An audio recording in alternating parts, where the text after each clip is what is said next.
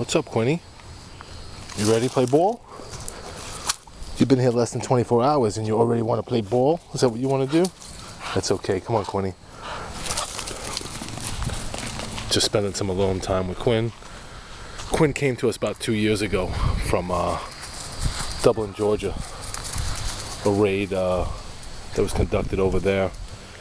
There was 90 dogs seized and uh, they uh, put down like 50 of them.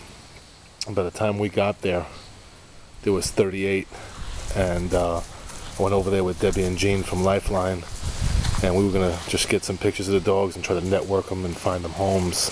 But they told us that they had a month to get all 38 dogs out before uh, before they lost the lease on the place. So we ended up with all of them, and uh, Lifeline and uh, Friends of the Forlorn got together. We housed some of the dogs. We boarded them. Um, got other other friends of ours in other states to take a couple. And a lot of people network to save a lot of these dogs. Lifeline still has a couple. I still have a couple. And Quinny's one of them. And we had him in boarding for quite some time. It's been over a year, year closer to two years. But Quinny did really well in boarding. He didn't he didn't suffer from like kennel rage or anything like that. He just really, really excelled. So there's some dogs that needed to come home that weren't doing well.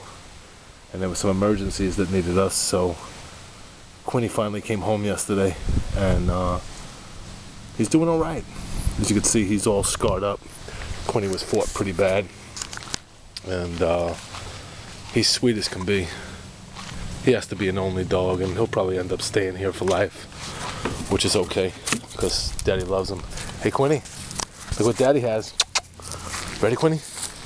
Go get it. Go. He loves to play ball. The first time that I brought him out into the yard and uh, threw a ball, he ran the other way and cowered in the corner. He didn't know what it was. And now you could hardly pry him away from him. He loves him. Hey, boy, come on. Quinny, look what daddy has. Ready? Go get it.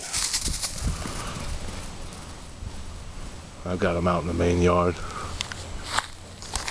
Giving him some exercise and some one-on-one time. Look at that face. You're a good boy. You dropping it for daddy. Ready? Come on, this one. Ready? Go get it, Quinny.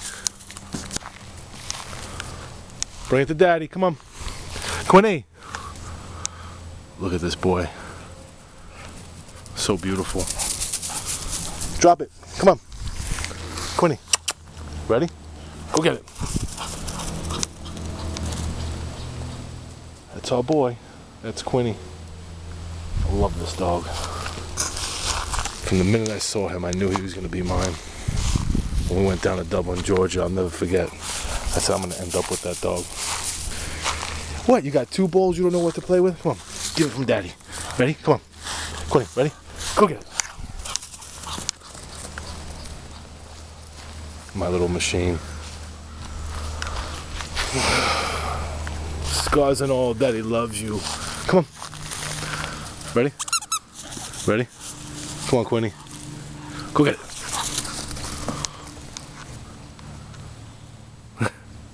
Look at him. I wish I had some video of the first day I threw a ball and watched him run to the corner and cower. Ready? Go get it, Quinny. He'll do this all day.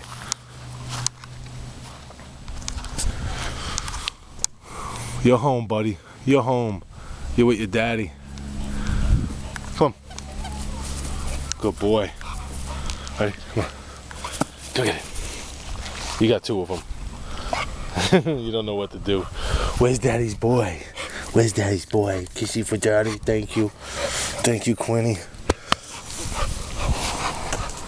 Dad's gonna make you an egg tonight. I know you didn't want to eat your food. You're still a little nervous.